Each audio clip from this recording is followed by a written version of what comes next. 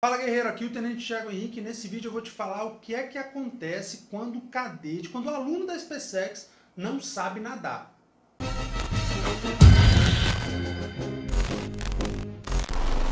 Então, cara, eu já fiz um vídeo aqui falando pra você que não é bizu de forma alguma você chegar na escola de formação sem saber nadar. Seja na ESA, na, na AFA, na SpaceX, cara, o bizu é você chegar sabendo no mínimo, tá? No mínimo, atravessar uma piscina de 50 metros, tá? Você não, não, cara, pega esse bizu, não entra numa escola de formação sendo prego, né? Cai na piscina e afunda. Aprende antes.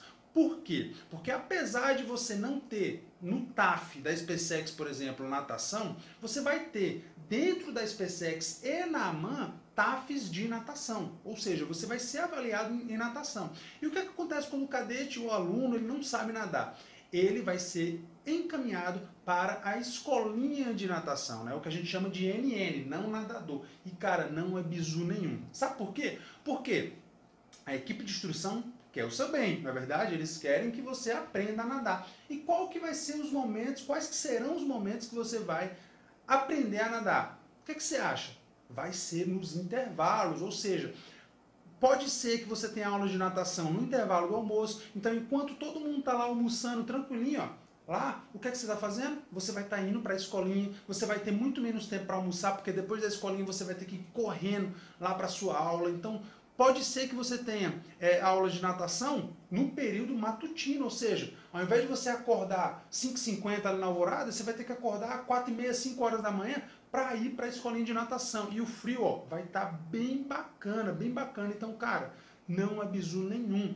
Por quê? Se você não sabe nadar, além de você ter que ir para a escolinha de natação, tá? Que tem lá na SpaceX, tem na MAN, você muito provavelmente vai tirar notas baixas na natação tá? Nos testes de natação. E se você tira nota baixa em natação, cara, é a mesma coisa você tirar nota baixa em direito, em matemática, em, em matérias militares, é a mesma coisa. Ou seja, a sua classificação vai cair. E tudo na formação militar é, leve em consideração a sua classificação. Então pode ser, por exemplo, que você não consiga escolher a sua arma, quadro de serviço, porque você sempre tirou notas baixas em natação e por isso sua classificação foi lá para baixo.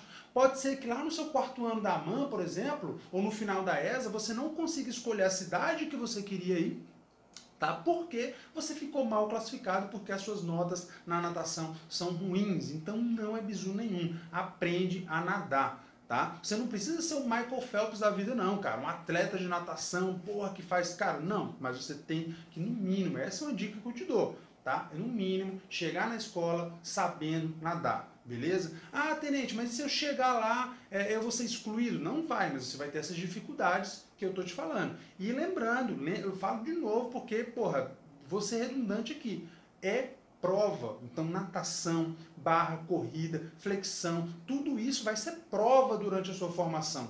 Tanto na ESA, quanto na SpaceX, quanto na MAN, você vai ter provas de, de, desse, desse tipo. Então, você tem que ter ali, no mínimo, um desempenho razoável para tirar uma nota acima da média. Beleza? Então, ó, não esquece de curtir o vídeo, deixe seu comentário aqui abaixo e não esquece também que aqui embaixo no, na descrição está o link do meu canal no Telegram, beleza? Caso você não participe, vai lá que eu tenho certeza que você vai curtir. Forte abraço, fé na missão e até a próxima. E aprende a nadar, hein, guerreiro? Tchau, tchau.